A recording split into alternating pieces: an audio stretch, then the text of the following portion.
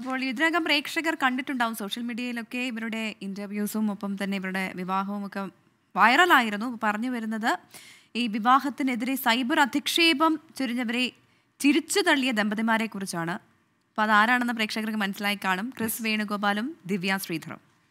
എല്ലാവർക്കും അറിയുന്ന പോലെ അഭിനേതാക്കളാണ് ഇരുവരും. ക്രിസിന്റെ നരച്ച താടിയാണ് സൈബർ ആക്രമണക്കാർ ഏറ്റവും കൂടുതൽ ലക്ഷ്യം വെച്ചത്. പക്ഷേ ഇരുവരെയും തളർത്താൻ സൈബർ പടയ്ക്കായില്ല എന്നതാണ് പറയേണ്ടത്. കാരണം വളരെ പോസിറ്റീവായിട്ടാണ് ഇവരെല്ലാത്തിനെയും എടുക്കുന്നത്. ചിരിച്ചു തള്ളുകയാണ് എല്ലാ ഈ പറയുന്ന സൈബർ അറ്റാക്കുകളെയും.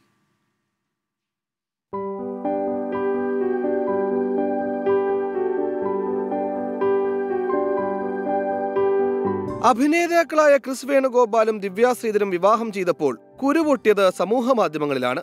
ക്രിസിന്റെ നരച്ചതാടിയായിരുന്നു പലർക്കും പ്രശ്നം. അപ്പൂപ്പനും കൊച്ചുമോളുമാണോ? വയസ്സാങ്കാലത്ത് അടങ്ങിയൊതുങ്ങി കഴിഞ്ഞുകൂടെ? എന്നൊക്കെയുള്ള കമന്റുകളുമായി വ്യക്തിഹത്യയുടെ പ്രളയം. അഭിഭാഷകനും വോയിസ് ഓവർ ആർട്ടിസ്റ്റും മോട്ടിവേഷണൽ സ്പീക്കറും മെന്റൽ ഹെൽത്ത് പ്രൊഫഷണലുമൊക്കെയായ ക്രിസിന് പ്രായം നാൽപ്പത്തി ഒൻപത് ദിവ്യയ്ക്ക് പ്രായം നാൽപ്പത്തി മൂന്ന് രണ്ടുപേരുടെയും രണ്ടാം വിവാഹമാണ്.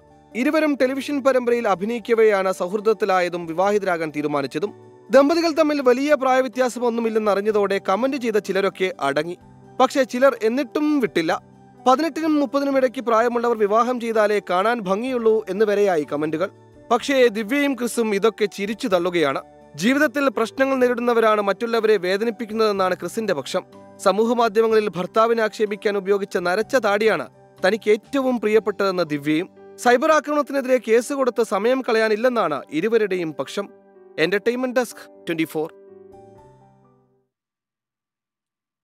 രണ്ടുപേര് കല്യാണം കഴിച്ചാൽ അതിൽ എന്തൊക്കെ അഭിപ്രായമാണ് അല്ലേ പേഴ്സണലാണ് കാര്യങ്ങളെല്ലാം. അതിൽ ഈ പറയുന്നത് പോലെ സൈബർ അറ്റാക്ക് ഒക്കെ വരിക എന്ന് പറഞ്ഞു കഴിഞ്ഞാൽ അഭിപ്രായങ്ങളെ പറയാൻ പോകണ്ടല്ലോ രണ്ടുപേരുടെയും തീരുമാനങ്ങളാണ് അവരുടെ വഴിയാണ്. അപ്പോൾ അവർ അങ്ങനെ മുന്നോട്ട് പോട്ടെ. കാരണം നന്നായി ജീവിക്കട്ടെ. അതാണ് പറയാനുള്ളത്.